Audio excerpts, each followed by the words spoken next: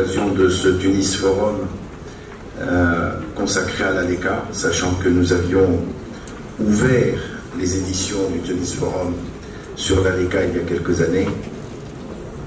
Et j'aimerais revenir donc sur ce, tout d'abord sur ce terme d'ALECA, d'accord de libre-échange complet et approfondi. Pourquoi complet? Parce qu'il porte sur l'ensemble des secteurs et approfondi parce qu'il s'intéresse à des problématiques plus larges que le simple libre-échange. On y évoque des concepts nouveaux tels que la convergence réglementaire ou encore la mobilité des personnes. Et nous tenions, lors de ce forum, à mettre la lumière sur certains aspects qui nous semblent échapper aujourd'hui au débat, alors que pour nous, ils représentent une pierre angulaire de l'accord, mais aussi du processus de négociation. Parle de convergence réglementaire. Qu'est-ce que la convergence réglementaire? La convergence réglementaire, c'est la démarche par laquelle la Tunisie va s'engager dans une refonte de son arsenal réglementaire économique au sens large, pour se rapprocher le plus possible, voire s'aligner sur la réglementation européenne. Et ici, on parle aussi bien euh, de réglementation sociale, telles que le droit du travail, le droit social, que de réglementation économique, droit de propriété, protection de l'investissement, que de normes techniques. Et donc le sujet n'est pas simplement un sujet de normes techniques. C'est un sujet essentiel de la négociation et que nous devons être capables de mesurer au niveau de ses impacts sur l'économie tunisienne. C'est des dizaines de milliers de réglementations à modifier, à adopter, pour celles qui n'existent pas, à digérer avec tout ce que cela suppose comme organisation en amont et en aval. C'est un défi immense qui nous attend et nous avons l'impression que cette dimension n'est pas perçue correctement par les différentes parties prenantes. Alors on parle souvent de l'ALECA. Est-ce que c'est une opportunité ou est-ce que c'est une menace? Et je crois que les craintes qui se sont exprimées jusque-là portaient essentiellement sur la question de l'ouverture de certains secteurs services, agriculture, à la concurrence européenne. Ces craintes sont justifiées, mais elles ne sont pas les seules à considérer. Nous voulions, à l'occasion de cette édition de Tunis Forum, mettre l'accent sur les défis que représente la convergence réglementaire. Aussi bien dans la démarche, encore une fois, que dans le résultat. La démarche va consister à revoir tout l'arsenal réglementaire tunisien, je l'ai dit, et cela doit être abordé avec cohérence et méthode. Ça nécessite de la compétence, ça nécessite du temps et de l'organisation, et au final, tout cela, c'est un coût pour la communauté. Une fois ces réglementations adoptées, les opérateurs économiques que nous sommes devront aligner leur outil de production à ces nouvelles normes qui s'appliqueront sur le marché tunisien, ce qui aura nécessairement un impact sur l'équilibre économique et financier de ces entreprises. Ils devront s'y adapter et trouver des réponses stratégiques et opérationnelles pour amortir ces coûts. Et cela nécessitera donc aussi un coût euh, et des fonds pour le financement de ce coût. Cette démarche représente d'une certaine manière un changement du business model des opérateurs, qui s'ils gagnent clairement l'opportunité de pouvoir s'adresser au marché de l'Union européenne, ils devront faire face à une possible augmentation de leurs coûts de production et aux risques liés à la concurrence européenne. Il y a donc un risque de perte de l'avantage compétitif qui va s'additionner au risque de voir certains, les plus fragiles, basculer dans l'informel faute de pouvoir adapter leur business model.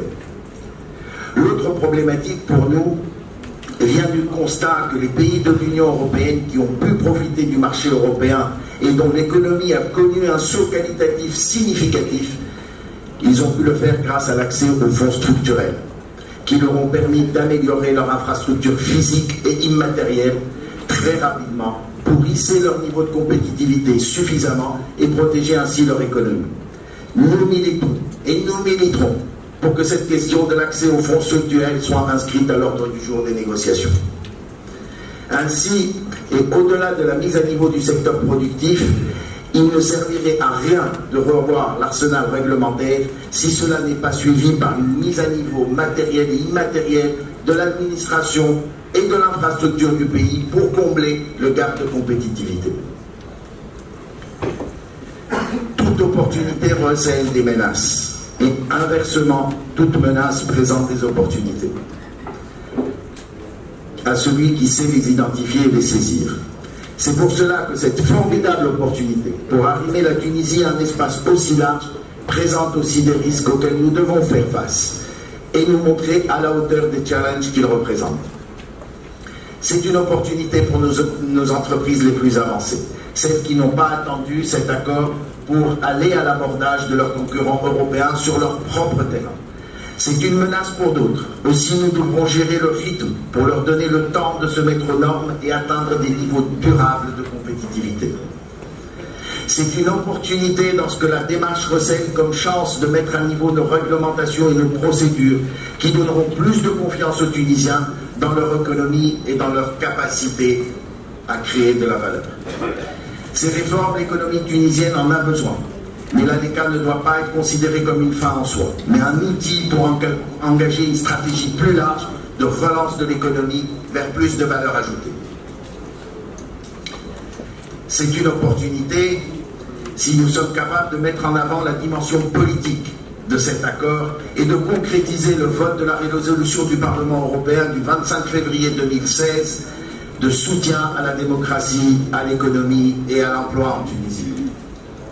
C'est une opportunité si nous sommes en mesure de concrétiser la dimension de solidarité de cet accord et de concrétiser, euh, pardon, de concrétiser la dimension de solidarité de cet accord dans ses caractères asymétriques et progressifs. Et que ce soit la porte vers la création future d'un espace euro-méditerranéen, seule garantie de paix dans la région.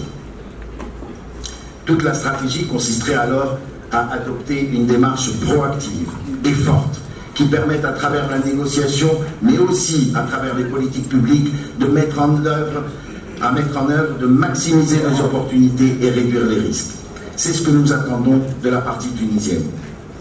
Il ne faudrait pas que nous soyons dans une situation où nous ne voyons que les menaces parce que le timing n'est pas bon, parce que la partie tunisienne serait mal préparée, parce qu'elle ne communique pas assez ou parce qu'elle n'associe pas le secteur privé et qu'on ne voit pas une stratégie claire qui permette de tirer le meilleur de ces négociations et plus tard de l'accord lui-même s'il venait à être signé. Cela nous désole d'autant plus qu'il donne des munitions aux opposants idéologiques à la l'ALECA, dont nous ne faisons pas partie à l'EACE, même si nous reconnaissons que le libre-échange n'est pas la panacée, ni la garantie à lui seul d'un développement inclusif, loin s'en faut. Ce que nous regrettons, c'est le fait qu'aujourd'hui, l'administration et le pouvoir exécutif accaparent tout l'espace de la négociation et n'accordent pas une place de choix au secteur privé, qui devra au final se battre demain avec la concurrence européenne et assumer l'accord au quotidien. L'accord, l'ALECA est un accord au travers duquel chaque pays et chaque partie engage l'ensemble du secteur productif. Et il est inconcevable pour nous que le secteur privé tunisien soit exclu de ces négociations le secteur tunisien, euh, le secteur privé tunisien a montré au cours de ces dernières années qu'il avait une forte capacité de résilience. Il a maintenu le cap malgré toutes les attaques dont il fait l'objet et ce qu'il subit de manière directe ou indirecte. La crise politique, la crise sociale, le développement du secteur informel, de la contrebande, l'accès au financement rendu difficile. Ce fait doit être aujourd'hui reconnu et l'entrepreneur tunisien doit être réhabilité et respecté et trouver la place qui lui sied dans ces négociations. L'absence de communication sérieuse dessert le processus de négociation et joue contre nous et contre les intérêts du pays. L'administration n'est pas omnisciente. Elle n'a pas une connaissance aussi fine de la réglementation européenne et des risques pour l'entreprise que celle que peut avoir l'opérateur le secteur privé a montré son niveau de maturité et il ne serait pas bienvenu de l'exclure alors qu'il est le premier concerné. Le processus de négociation doit être un processus ouvert dans lequel le secteur privé doit avoir une place centrale dans l'organe de gouvernance des négociations. Alors, l'autre sujet que nous aborderons aujourd'hui concerne la fuite des cerveaux. Et beaucoup nous ont posé la question, quel rapport entre l'ALECA et la fuite des cerveaux? C'est et notre président, a apporté une partie de la réponse. Mais j'aimerais ajouter que le lien se fait à travers les questions de mobilité des personnes. Cette question est aujourd'hui un frein pour les entreprises tunisiennes pour s'implanter et travailler en Europe, en particulier dans le secteur des services.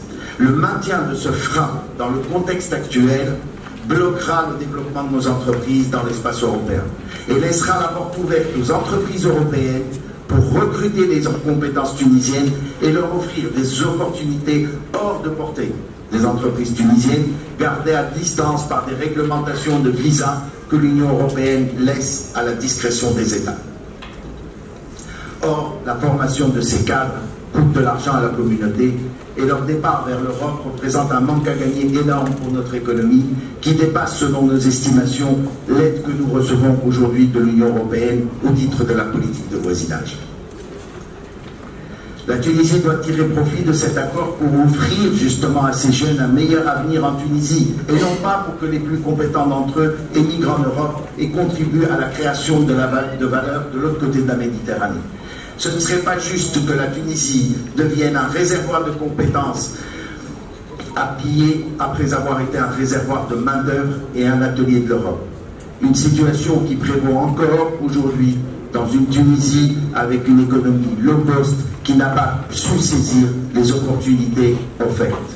La Tunisie aura besoin de toutes ses compétences pour assurer le passage d'une économie low cost vers une économie justement portée par la création de valeur, et ça à travers ses compétences.